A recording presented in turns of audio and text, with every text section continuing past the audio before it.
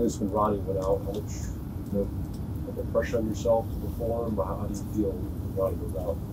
When Ronnie went out, that was uh, really tough to, to accept. Knock on wood, Ronnie.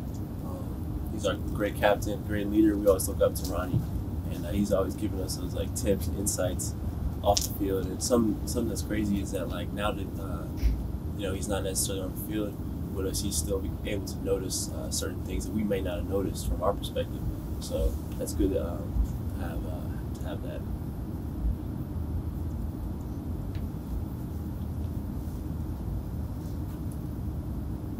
Cornelius Mousy talked about this upcoming uh, Wisconsin game as a measuring stick sort of game. Is that the general team consensus? Is that how you feel? What do you mean as a measure, measuring stick? To, to see where you guys are at physically, Oh, okay, maybe more so than the first four games. Yeah, lifestyle on the road. Sheesh, man, it's it can be mental. Um, but the main thing about it is, uh, it's we got to prepare for it during the week. So uh, what I was saying is that uh, what we'll see on game day is uh, something that uh, we have to prepare for uh, every day. So that that way, once we get to the game, it's not something new. We've just been preparing for it the whole week. Ryan? What kind of stuff can receivers do to improve their route running and getting open and that sort of thing?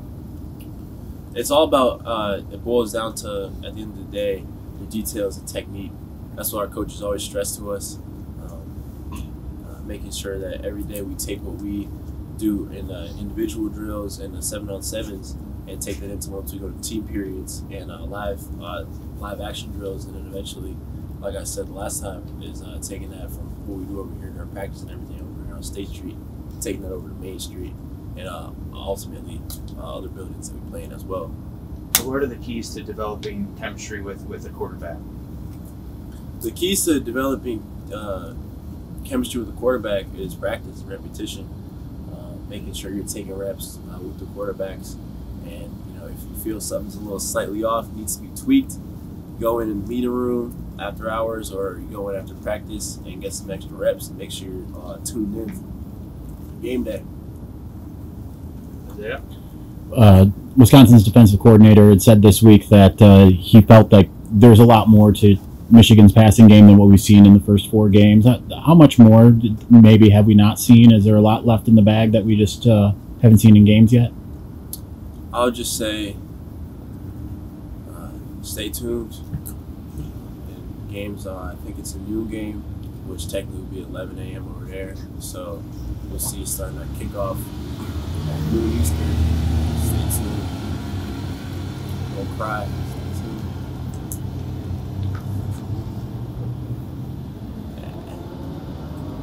with Wisconsin being a strong uh, run defense, has there been more emphasis week in practice on getting you guys going in the passing game?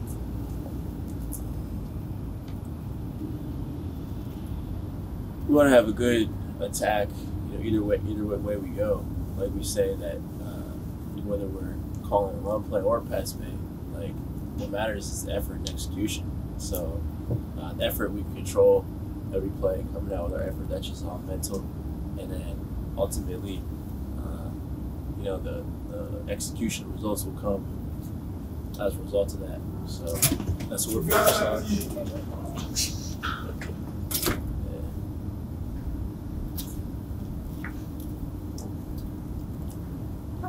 How poised is, has Cade been? I mean, the second half last week, I think, you know, Yeah. people are wondering four straight three and outs. How did he handle that?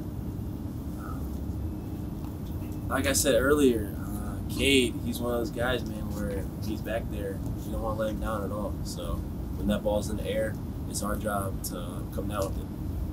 So Sorry, that's what we're focusing on. Earlier, talking about Cade. Sorry. All right, good.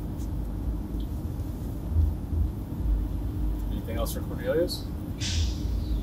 Who's the funniest guy on the team? The funniest guy on the team, uh, I probably have to say, is Vince Gray. Uh, he's hilarious. All right. Thank you for your time.